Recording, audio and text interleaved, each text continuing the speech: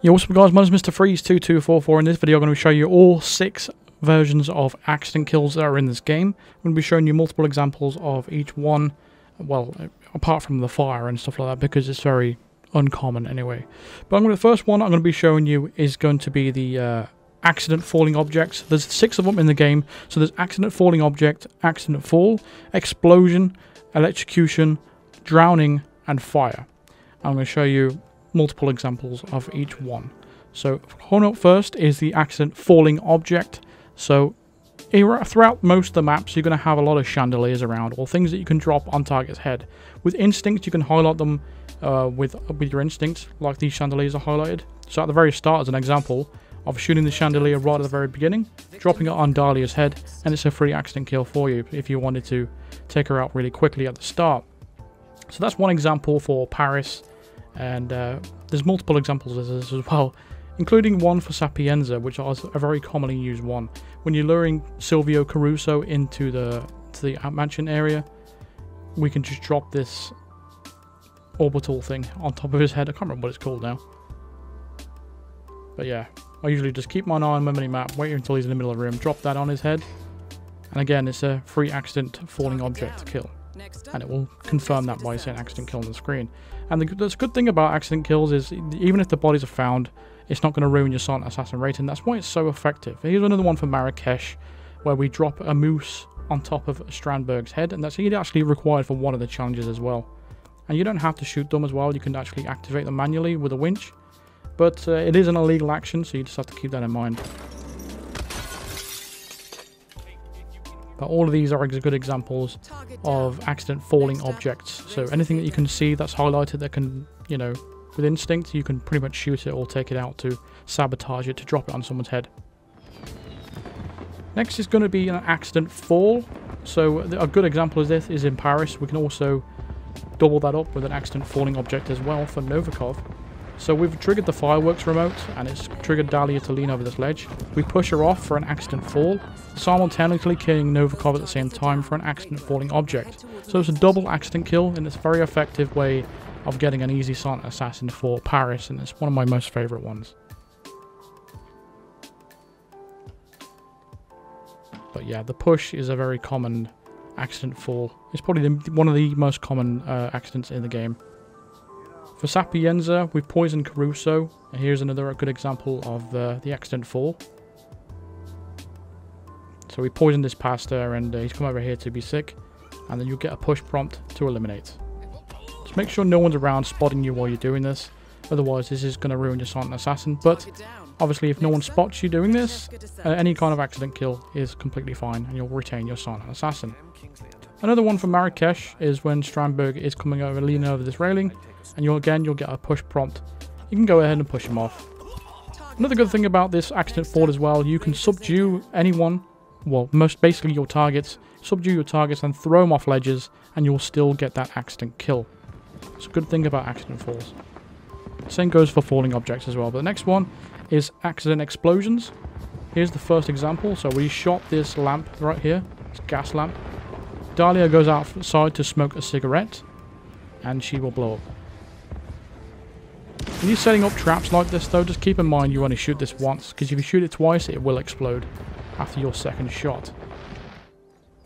For uh, Sapienza, here's a good example as well. You can get a propane flask, and uh, when Francesca gets near the fire, we can just put it down this little chute, and it will go down into the fire and explode right in front of her. Now, it does knock out a guard there, but that's an accident knockout as well. That's a separate thing. But again, because it's an accident knockout, and while it kills Francesca as well for an accident kill, it won't still won't ruin your Silent Assassin rating. So again, bottom left you can see the green guns for Silent Assassin. You can set up traps as well with propane flasks if you want to. You just shoot it twice next to a target, blow it up by shooting it, and it's a free accident explosion. You could also do this with a breaching charge as well. So if you uh, have the propane flask in your hand, walk up to your target, go into your inventory, select your breaching charge and drop it straight out of your inventory and trigger it immediately as you walk away. And you'll get a free accident kill. It won't work on fire extinguishers though, they will only trigger knockouts. Next is the accident electrocution. Now, in some of these cases you will need a screwdriver, but in a lot of cases you don't because you can just shoot these things. So as an example, here is Dubai.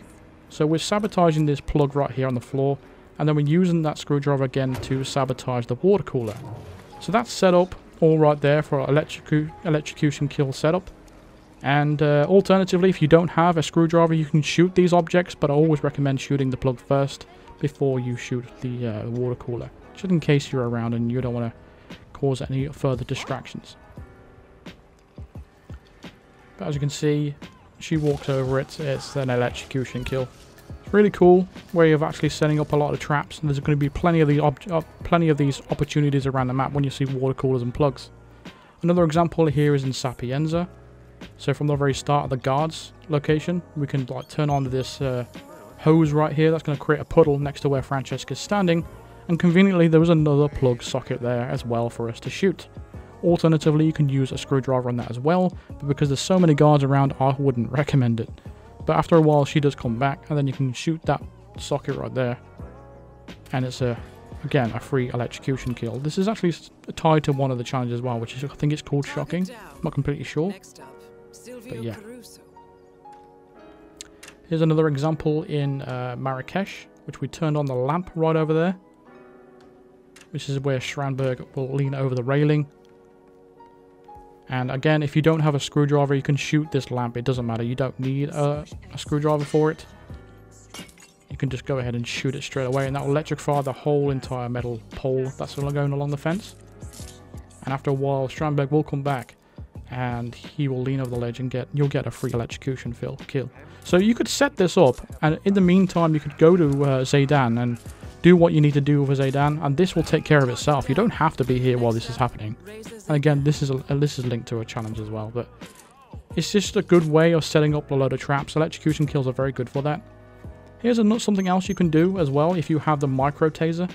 So what you could do is just overflow a sink if you want to distract your target and then you put the uh, the micro taser in the puddle of water and when your target goes to investigate the, the sound or whatever you can go ahead and trigger that uh, remote taser the micro remote taser that is and you'll get a free electrocution kill. You, you can do this with anybody.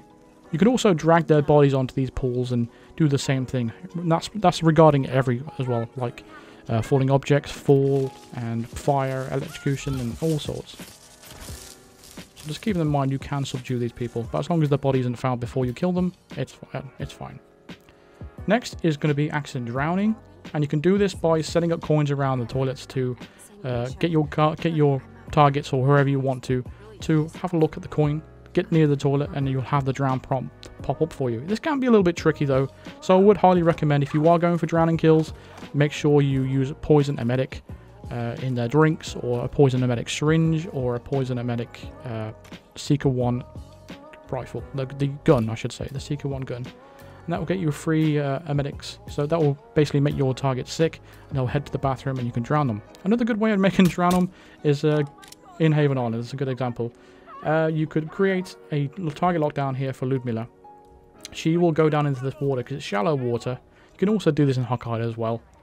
But what she'll do, she'll rush down these stairs. You can shoot her in the leg, or you can get a muffin if you want to, and she will fall over in the water, and her head will go straight into the water, and it'll immediately count as a drowning. So it's kind of a funny way and a quick way to actually take out some of your targets, but it's very selective in doing that, of course. But I would, I would just recommend sticking to emetics. Next is accident fire. So you could, you'll see a lot around the maps. You'll see a lot of these big, huge oil barrels like this. So you can sabotage it with a, a, wrench, or alternatively you can shoot it, but if you want to draw less attention, I would just use the wrench, but you can shoot those little valves if you want to. Maya Parvati will come along eventually. You shoot the uh, puddle of uh, oil that's on the floor, that will ignite it, and of course cause an accident kill for fire. But there's very few far and few in between these uh, opportunities for fire, but you want to be looking out for these big red barrels right here. These will contain all the, all the gasoline you need, you pierce it with a screwdriver or you can just shoot it once and once the target goes over to investigate by planting a coin or something, you can go ahead and shoot the oil. But that's all six accident kills that are in the game and hopefully you've learned something there. This is mainly for new players that aren't experienced, but if you even if you are an experienced player, you might even uh, pick pick something up here. But there's plenty, like there's dozens, there's, there's countless opportunities for accidents in the game, and it's one of the best ways to take out your targets, in my opinion, other than poisoning. So overall, that's going to do it for this video. So hopefully you've uh, enjoyed this little video. Thank you very much for watching. Subscribe if you are new to the channel. Drop a like on it as well. And uh, if you consider supporting me on Patreon if you want to, hit the bell notification. There's a link in the description of my Patreon and uh, the membership scheme and stuff like that. Also, a big shout out to Paul Lilly, Big D, Bedry, Argel, uh, Mark David, Constantine Mueller, Crazy Jesus, Shafe, Isaiah Blake, and Nico Senpai. I really do appreciate your Psycho Assassin support. I'll see you guys later. Cheers.